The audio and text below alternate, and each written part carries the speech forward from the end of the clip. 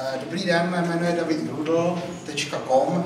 Eh, já vám tady řeknu něco o dependency injection. Eh, tohle téma už tady minulý, minulou poslední sobotu v GitHubu, tedy před dvěma měsíci, nakousli kluci. Já to nějakým způsobem zkusím doplnit a pokusím se podívat na to téma dependency injection trošku obecně.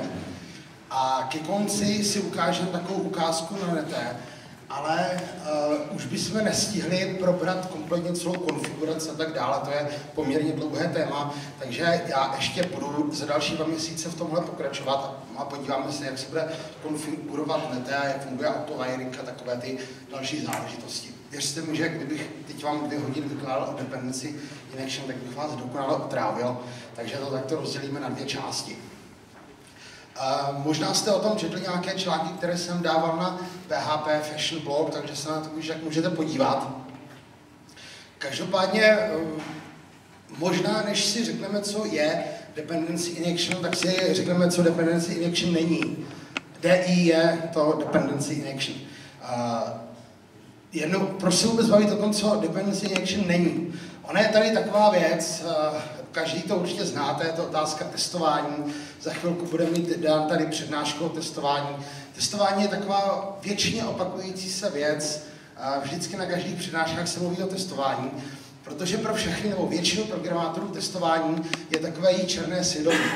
Protože oni netestují, ale vědí, že by měli.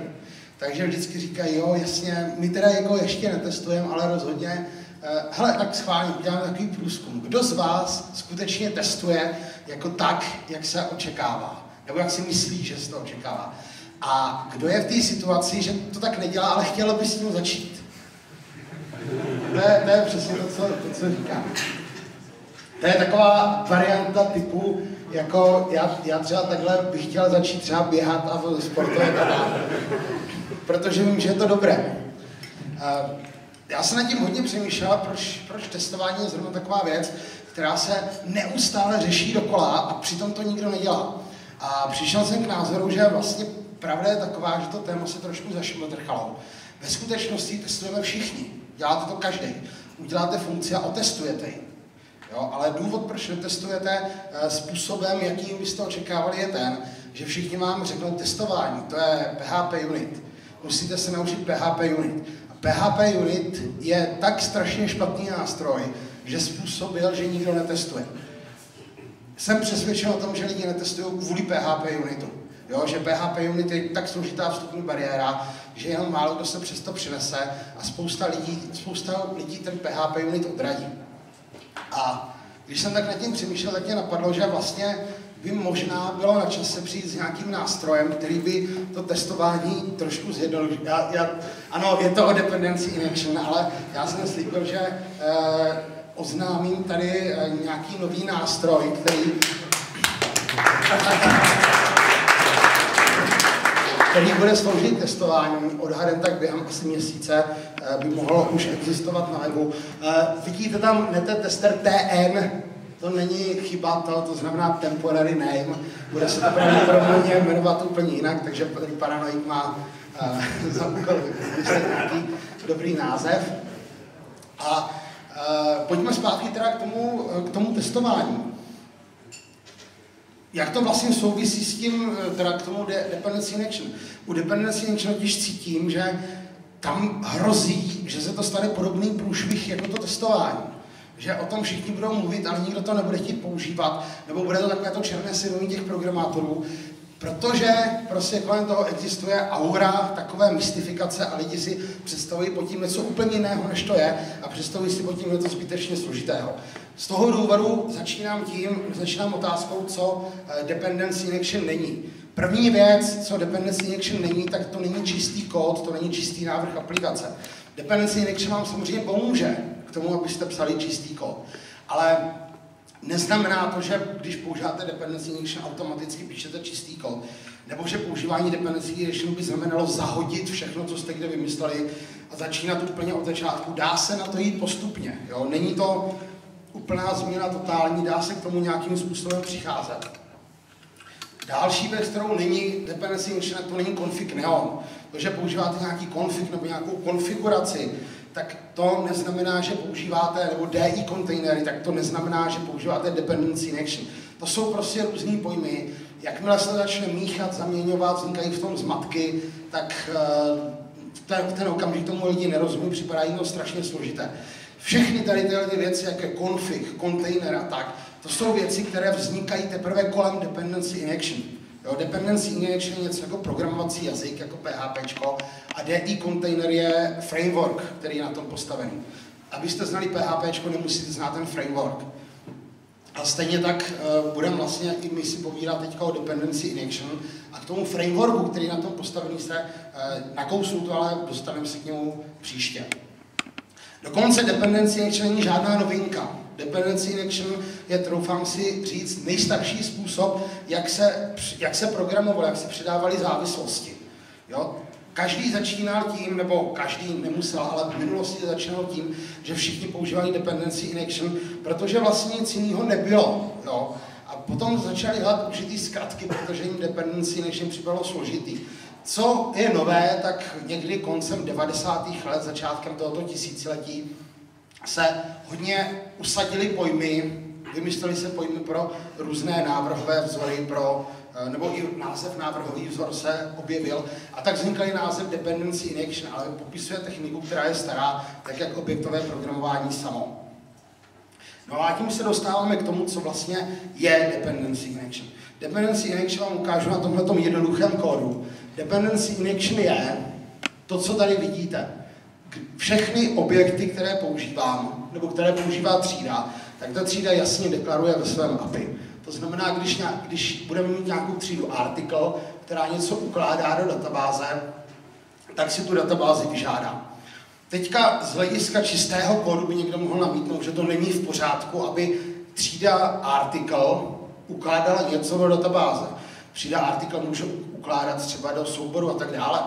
Já jsem to říkal, dependency injection není čistý kód. Tohle to neznamená, že to, to je správně, ale je to použití dependency injection. Je to správné použití dependency injection.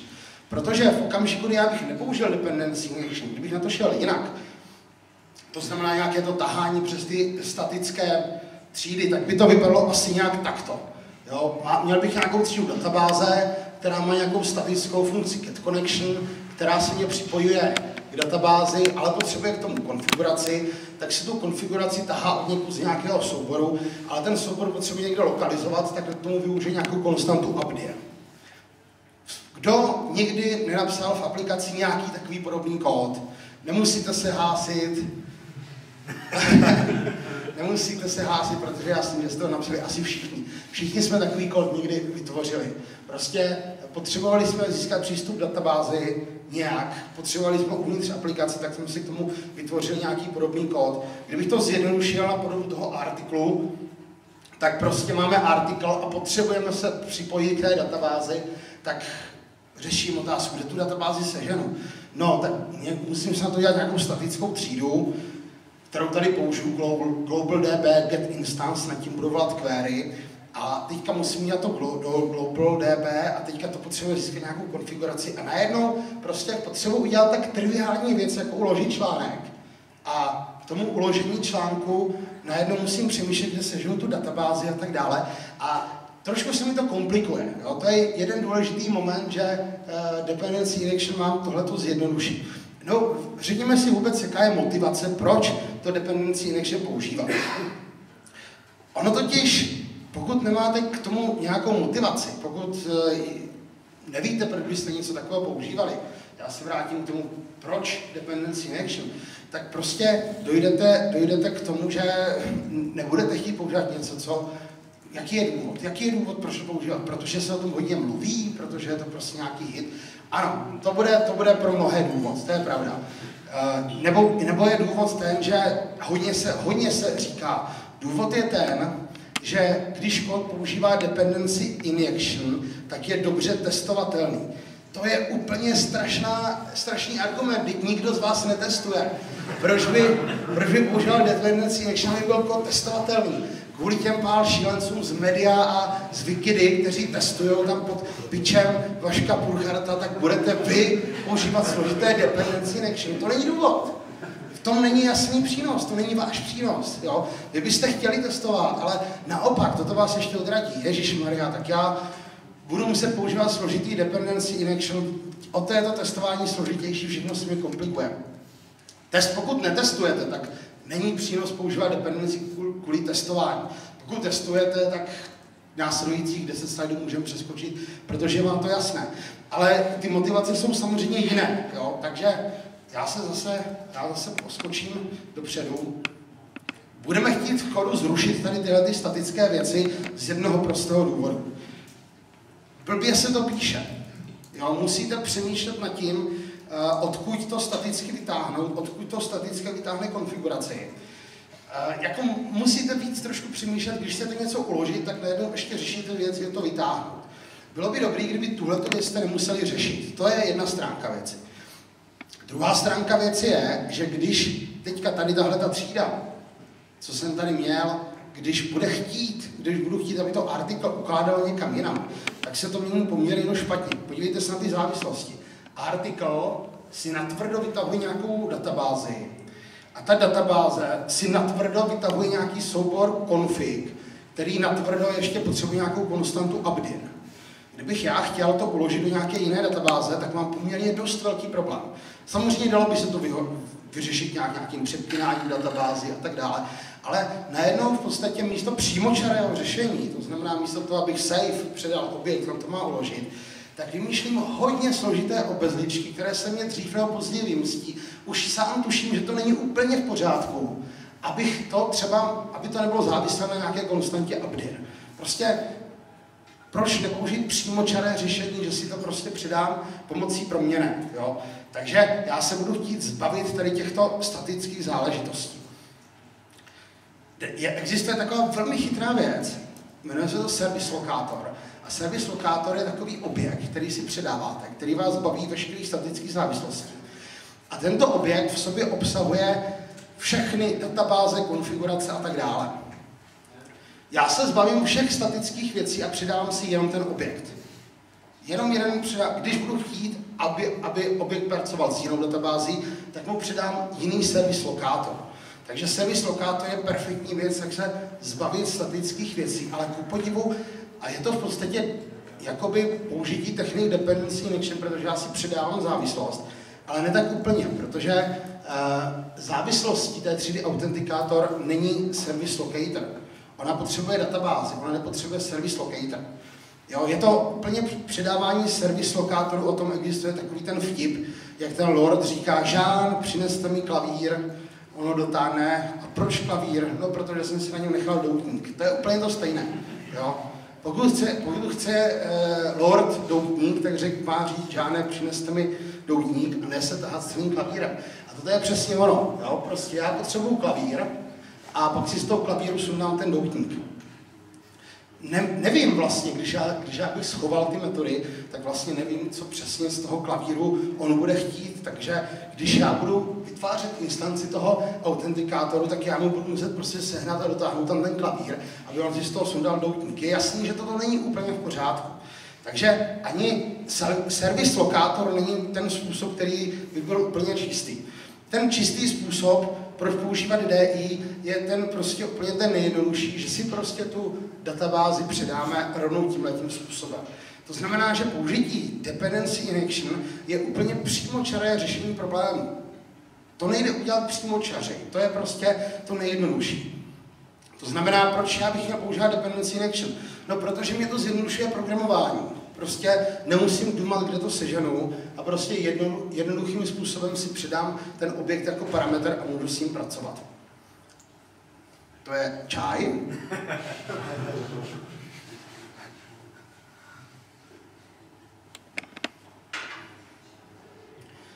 Napadá vás někoho ještě nějaký důvod, proč použít, z vás se používají dependency injection, co vám přináší použití dependency injection? Ano? To znamená výhody při testování. Jednoznačně. Že 3D se nedá použít špatně, že nebude fungovat, když nepřidám, co potřebuje. Přesně tak. V okamžiku, kdy volám metodu safe a nepřidám connection, tak mě to skončí chybou. Případně, kdybych tam měl konstruktor a on vyžadoval nějaké parametry, tak to skončí nějakou chybou. Ještě nějaký nápad? Určitě znovu použitelnost, protože tam nejsou žádné externí vazby. Já tu třídu article můžu dát jako doplněk a najednou ta třída article bude fungovat bez toho, abych měl definovanou konstantu updir a v tom nějaký soubor config a tak dále. Napadá ještě někoho něco? Čitelnost toho kódu. Určitě, určitě. Na první pohled je jasný, co se tady děje, že jo? Když budu mít prostě nějaký kód, nevím, jestli tady mám příklad, já mám tady, mám tady řešenou kód, je upřímný. To je prostě, to je jedním slovem, no jedním, tak řekněme spíš třemi slovy a tečkou, řečeno, co, jak se ten kód chová. On prostě před váma ne, on nehraje skrytou hru, on vám jasně řekne, co potřebuje a vy mu to prostě dodáte. Teďka si můžete říct, no jo, ale když, když se podíváme, jak se potom taková věc používá, no, tak já musím, já musím někde se na to connection, abych mohl s tím artiklem pracovat. To znamená, ano, artikl se mě naprogramoval jednoduše, ale teďka, když já chci používat třídu article, tak si musím s sebou někde tahat connection. To je, to je, tím se mi jakoby ten problém jenom, kde já teďka sežiju to connection? Napadá vás? No, tou hroznou konstrukcí z toho konfigu to vytáhnu. Ne, ne. Určitě ne. To bych porušil dependenci, než to bych jenom o krůček dál porušil.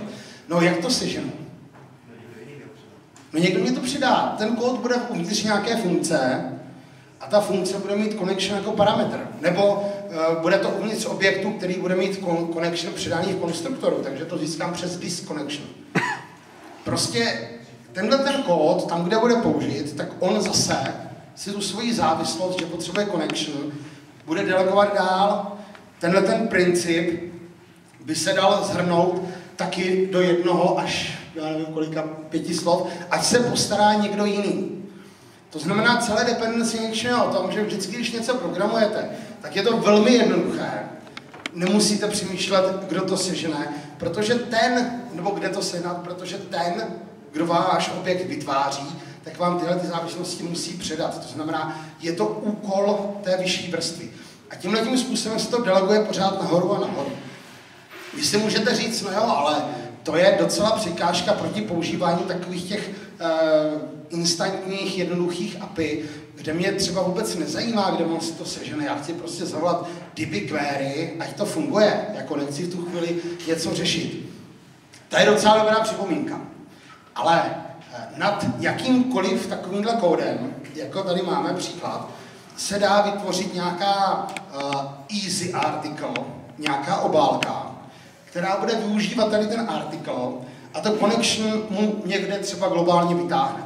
To znamená, já nad čistě napsaným kódem pomocí dependency injection kdykoliv můžu tu statickou obálku z nějakého praktického důvodu třeba chci použít, můžu udělat. To znamená, já vždycky nad tím můžu vyrobit vrstvu, která se bude chovat tak, jako kdyby, jako předtím ta statická, která si to od někud sebrala. Ale nejde to udělat obráceně. Nemůžu naprogramovat kód, který si sta- se statických věcí magicky tajně něco tahá a nad tím udělat obálku kód, který mu předávám závislosti a on s ním pracuje. V tom je jasná výhoda tohoto kódu. Klidně si nad tím můžeme udělat ten původní artikel, který si to vytáhne magicky. Asi byste řekli, že to je, že to je porušení dependency injection. Je, ale tak pravidla jsou to, aby se porušovaly. Příkladem nástroje, který tohle přesně dělá, je Diby. Diby je kompletně celé napsáno pomocí dependency injection. A je tam jedna jediná statická třída, která se jmenuje Diby, která počítá s tím, že nejčastěji si používá v rámci aplikace jedno jediné spojení. To znamená, je to třída, která může fungovat jako zjednodušený přístupový bod k té databázi. Vy to nemusíte používat, můžete používat celé DB, které je založeno dependency injection, ale často čistě z pragmatických důvodů použijete tu statickou obálku, protože ta statická obálka vám zjednoduší práci. Je to porušení pravidel. Člověk si to může dovolit, pokud ví, proč to pravidlo porušuje nebo že je porušuje. Důležité je, že to jde, Kdyby to kdyby bylo vnitřně napsáno tak, že všechno tahá staticky od někud, tak by, tak by nešlo udělat nad tím čistá objektová obálka. Ale obráceně, pokud je to napsáno pomocí dependency injection a přidává se to závislosti, tak tu obálku, která se chová jakoby tak chytřeji, na tím jednoduše uděláte. Takže dvě hlavní pravidla, ať se postará někdo jiný a ještě vrátím, ať se postará někdo jiný a je upřímný, jsou podle mě takovou tou motivací, proč psát dependency in action. Nebo po, proč využívat tady těchto těch pravidel. Protože prostě ten kód bude jednoduše čitelný pro cizího člověka. A co si budeme povídat, při pohledu na svůj rok starý kód je to taky cizí kód. Psal to prostě eh, člověk, který byl výrazně hloupější než vy, můžete se mu vysmávat a tak. Mimochodem, to je důvod, proč se nevyplácí být příliš arrogantní v diskuzích. Myslím teď konkrétní jedince, nebuďte arrogantní, jo, protože za rok, až budete vědět, jak jste byli blbí, tak to nebude smazat. A když je člověk blbý a je k tomu je arrogantní, tak to je, to je obzvlášť, obzvlášť hloupé. Tak, takže upřímný kód a jednodušejší programování, protože on se postará někdo jiný. Uh, servis lokátor byla věc, která se používala hodně v nete 09. Bylo, bylo to tam použito z toho důvodu, že ten servis lokátor je velmi pohodlný. Ono nepoužívá ty statické závislosti a je to pohodlný přístup, že přidáváte jeden objekt a získáváte všechno. Praxe ukázala, že to je celkem cesta do pekel, protože je, je to prostě ten žánr s tím klavírem. Jo? Prostě všechno potřebovalo klavír a něco si z toho klavíru vzalo. Tím pádem ty, ten kód nebyl upřímný, těž, hůř se s ním pracovalo uh, jinak, než jaká byla standardní předpokládaná uh, use case. Z toho důvodu uh, se vlastně teďka přechází, uh, jo, to je tady ten, ten klavír, že jo, přidávám ten klavír, a z toho důvodu se přechází na, uh, nebo přešlo se NET 2.0, používá už kompletně dependency in action, nepoužívá servis lokátor. On tam samozřejmě z důvodu zpětné kompatibility existuje a nějakou dobu existovat bude, ale není naprosto žádný důvod uh, jej používat. Já se zeptám, jak jsem na tom časově. 10 minut do půl hodiny. Jo. A můžu si pak přidat? Dobře. Tak jo, tak ukážeme si příklad, jak přiděláme starý kód do toho nového.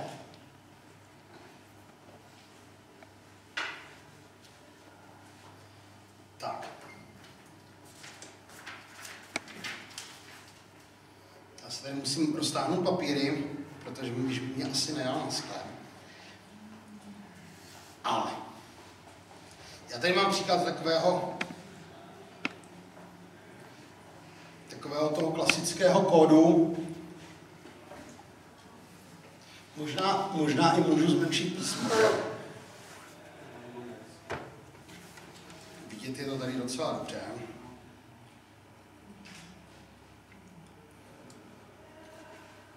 Takže toto je, toto je klasický kód, já si tady udělám takový brainpoint, aby jsme to mohli vyzkoušet. Takže toto je, toto je získávání databáze ze vzduchu, bezdrátové spojení, jo. Hodně si to vytáhnu. A tady máme autentikátor. Ten autentikátor si vytáhne to databázové spojení a nad tím koná nějaký dotaz. Můžeme to zkusit, já když ten kód spustím. Zobrazí se mi tady nějaká přihlašovací obrazovka, já tu zadám heslo, demo, xxx, přihláším se a tady se mi zastaví print point. Tak, první věc, potřebuji, jsem sign presenteru a v sign presenteru potřebuji autentikátor. Prakticky v nete byste asi spíš potřebovali třídu user, ale to je celkem jedno, jestli použiju user nebo autentikátor. Kde ho seženu? No tak buď to někde si ho vykouzlím, že jo, nebo přímo vytvořím instanci. Vytvořím instanci autentikátoru a nad ním zavolám metodu authenticate, kde předám uh, ty přihlašovací údaje. Zavolá se metoda authenticate. Metoda authenticate teď potřebuje vyčerovat databázi, takže od connection, jo, klasika vyčeruje databázi, nezapomene přitom si uh, stáhnout věci uh, z konfigu a jsem k databázi připojen, načetl jsem si článek a je to v pořádku. Klasický kód, tak jak vypadá spousta kódů, které využívají uh, statiku. Pojďme, pojďme to teda předělat, aby, aby se tady nic statického nepo, nepoužívalo. Jak upravíme tu třídu autentikátor? Ano? Přidáme, potřebujeme získat databázi, tak napíšu function, můžu poprosit?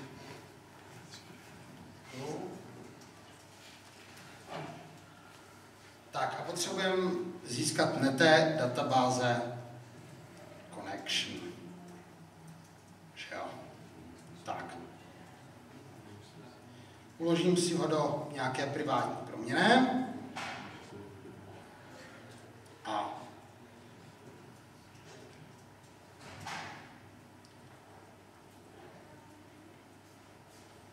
a použiju tady connection.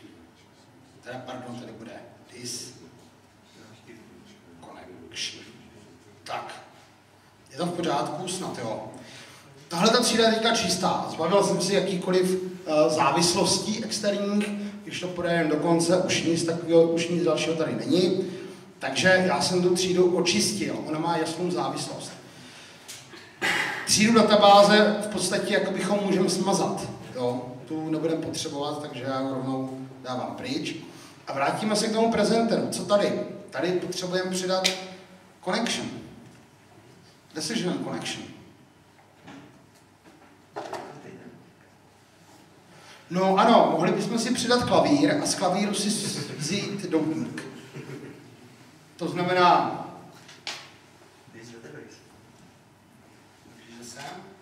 to znamená this, klavír, uh, občas se používá kontext. Get data base. Jo? Ale to není úplně přesně to, co bychom chtěli. Jiný způsob. Navrhněte. This database. Použijeme this database.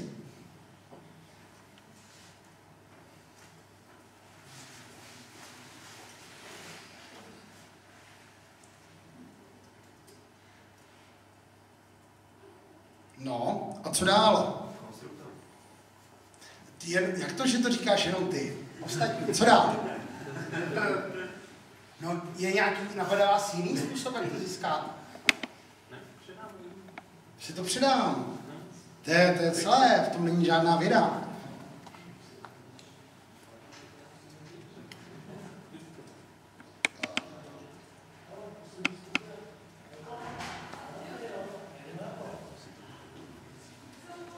Database connection, přidáme si connection a tady ho uložíme do this database, uložíme connection. A je dependency connection, prostě takhle to funguje. No, dobře, ale co dál? Někdo musí volat ten, někdo musí volat ten prezentér, že jo? To znamená, někdo, kdo volá prezentér, tak musí přidat connection. Tady, tady tenhle ten princip e, neřeš, až se postará někdo jiný. Samozřejmě nejde delegovat úplně do nekonečna. Jo. Kdybychom ho dele- delegovali úplně do nekonečna, tak já ještě k tomuto se vrátím. Kdybychom ho delegovali neustále nahoru, tak prostě to nejde. Někdo nahoře musí být ten, kdo e, řekne, jaké, jak se vytváří databáze, odkud se berou konfigurační údaje a tak dále. Ten, kdo je úplně nahoře a kdo to všechno vytváří, tak to je, tomu se říká composition root. A to je prostě to první místo aplikace, které se spouští a které vytváří všechny, všechny tyhle ty závislosti. Tak jak, jak takovýhle ten composition root naprogramujeme? No jednoduše, prostě si vytvoříme, uh, budeme potřebovat vytvořit application. Application jako závislosti má, uh, já nevím, session, HTTP request, response. Vytvoříme si objekty HTTP request, HTTP response, vytvoříme si objekt session, který jako závislosti má HTTP request, HTTP response, vytvoříme application, které má tyhle ty závislosti a tak dále. Vytvoříme všechny objekty, které potřebujeme a nakonec zavoláme na tím application rána. To znamená, předáme si v jednom místě aplikace úplně všechny závislosti. Dovedete napsat úplně jednoduše z hlavy. Prostě si ty objekty vytvoříme. Pravděpodobně by asi nebylo pěkný z toho udělat nějakou takovou hardu kódu, tak bychom si to rozčlenili, udělali bychom si metody, vždycky na každou, každý ten jednotlivý objekt bychom si udělali samostatnou metodu, která ho vytvoří. Zároveň bychom udělali metodu, která třeba řeší to, aby se nám každé přivolání nevytvářelo nové připojení do databáze, aby se vytvořilo jenom jednou. No a tady tenhle ten, tenhle ten objekt, který tohle všechno vytváří, tak tomuto objektu se potom říká Dependency Injection Container. Nemusíte tomu tak říkat, ale říká se tomu tak. Prostě je to objekt, který, který tvoří všechny tady tyhle ty věci a vytváří ten strom závislostí. Psat ho ručně asi není úplně fajn, jako to je nesmysl, abyste psali ručně v Bootstrapu vytváření všech služeb. To, to, to je součást, to musí být součást frameworku. Musí vám to dodat, abyste ho mohli rovnou používat. Problém nastává ve chvíli, kdybyste chtěli ho trošku upravit. Jako ano, dá se udělat to, že když každá metoda vytváří jednu, jednu tu takzvanou službu, tedy jeden ten objekt, tak v potomkovi tu metodu můžete přepsat a tím pádem tu službu vytvořit jinak. To je nejjednodušší. Ale už se tak úplně jednoduše nevy, nevyřeší třeba skutečnost, že byste chtěli jenom jinou třídu, aby to vytvářelo. To znamená, on to vytvoří jinou třídu a potom dál, co s ní dělá, jak ji konfiguruje, nastavuje a tak dále, byste nemělo měnit. Abyste tohoto dosáhli, tak byste museli uh, buď to ještě složitěji napsat, nebo ty jména tříd, které se vytváří, dát jako, konfigu, jako volitelné přes nějakou konfiguraci. To znamená, nebylo by tam new net http request, ale bylo tam uh, new a teďka proměné klasy by se vytáhla třída, kterou to má vytvořit a tak dále. Docela by ten kód bobtnal, stejně by se to docela špatně uh, spravovalo. Jo. Tak další možností je prostě si nechat tyhle ty věci generovat. Ty věci se dají nechat generovat tím způsobem, že si použije takzvaný konfigurátor, což je generátor tady téhle té třídy, která to všechno vytváří, toho, toho rootu, toho DI kontejneru.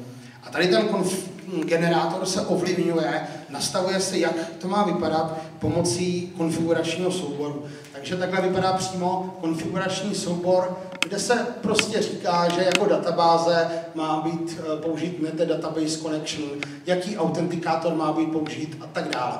Tohle je téma, které už vyčerpávám čas, které si eh, nechám na příště. Já ještě, než, než to tady ukončím, tak já bych zopakoval to nejdůležitější, eh, co, o co jde u dependency injection. Je to věc, která vám šetří práci, protože nemusíte přemýšlet nad tím, kde věc seženete. Je to věc, která vám sčitelně kód, protože ten kód je upřímný. Když se podíváte na API té funkce, tak víte, co dělá. Nešásí nikde magicky. To jsou důvody, proč používat dependency injection. Dependency není žádná věta, je to úplně jednoduchá věc, prostě závislosti si přidáváte přes parametry. Ať už metody nebo konstruktorů, kdy použít metodu, kdy použít konstruktor, existují proto nějaké důvody. Je jeden, jedna z takových věcí je například, když používáte dědičnost, tak pokud byste předávali tři závislosti skrze konstruktor a vytvořil byste potomka objektu a tam by přidával další dvě závislosti, tak byste najednou museli přidávat pět závislostí. A ty tři závislosti přidat tomu parentu, ten nesmíte zapomenout zavolat, tak najednou si řeknete, aha, tady možná by to chtělo volit nějakou jinou, jiný způsob předávání. Potom jsou závislosti, které se používají jenom občas, tak je nechcete spát do konstruktoru a tak dále. Nemusíte se bát z toho, že by těch závislostí najednou vzniklo hodně, že byste měli v konstruktoru 20 eh, objektů. Protože praxe ukazuje, že to tak není. Jo? Není to něco, co bych vám dokázal dokázat nějakým způsobem, prostě je to tak. Lidi, co používají dependency injection, tak vám řeknou fakt jako tři, maximálně tak čtyři objekty, je to tak. Úplně objekty s tím vystačí. Pokud bych potřeboval 20, tak to znamená, že uh, ten objekt asi není dobře naprogramován a vlastně potom je to i detektor toho, že třeba ten kód nemáte správně navržený. Dalším problémem může být lazy loading. Vy potřebujete přidat databázi, ale budete ji používat jenom někdy. No tak se to vyřeší úplně jednoduše, prostě si přidáte místo, místo toho si přidáte továrničku. Přidáte si něco, co až budete potřebovat tu databázi, tak vám tu databázi vrátí. A opět se to dá napsat čistě. Prostě my, vy místo toho objektu budete potřebovat objekt, který vám ten objekt vrátí. Je to jenom o kruček víc. Pochopitelně, kdyby ten autentikátor byl nějaký interface, tak vy nemůžete uvažovat nad tím, že ten objekt je pro vás drahý, protože to nevíte. V takovém případě byste si eh, byste to neřešili třeba továrničku. V tomto případě se továrnička hodí, protože je celkem jedno, jestli ten objekt je drahý nebo ne, ale já vím, že ten objekt používám pouze občas, takže, takže si ho můžu přidat třeba do toho sign presenteru eh, pomocí továrničky. Takže toto, toto jsou důvody, nebo to jsou důvody, proč bych vás chtěl motivovat k tomu používat DI. Nehledejte v tom žádnou složitost, není tam.